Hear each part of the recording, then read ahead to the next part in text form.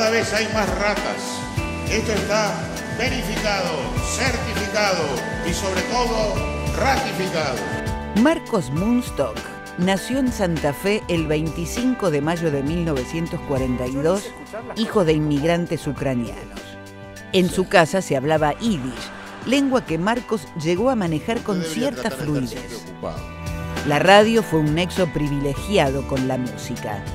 Desde la ópera italiana hasta los cantantes litúrgicos de sinagoga, fueron la primera banda de sonido de su historia.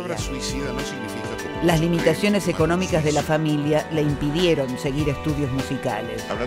Graduado como locutor profesional y radicado ya en Buenos Aires, Munstock tuvo sus primeros trabajos en radio y publicidad.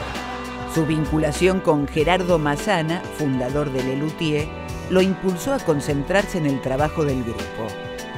Marcos confesó alguna vez que no tuvo la constancia necesaria para concentrarse en el estudio del piano.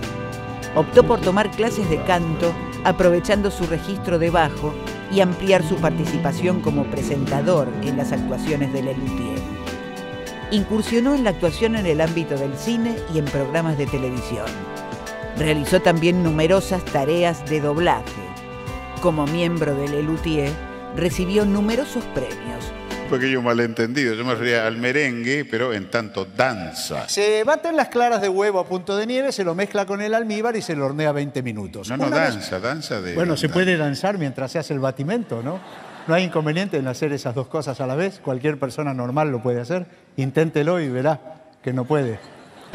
Entre ellos, el Max de las Artes Escénicas, el Grammy Latino a la Excelencia y el Princesa de Asturias de Comunicación. Permite contemplar las cosas de una manera distinta, lúdica, pero sobre todo lúcida, a la cual no llegan otros mecanismos de la razón. Sí, porque hay muchos que se van por las ramas. Hablando de ramas. Tantas especialidades médicas desorientan.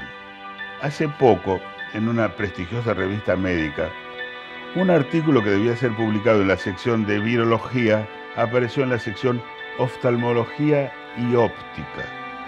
La confusión se produjo porque el artículo se llamaba La hepatitis B. En enero de 2020 anunció su retiro de los escenarios.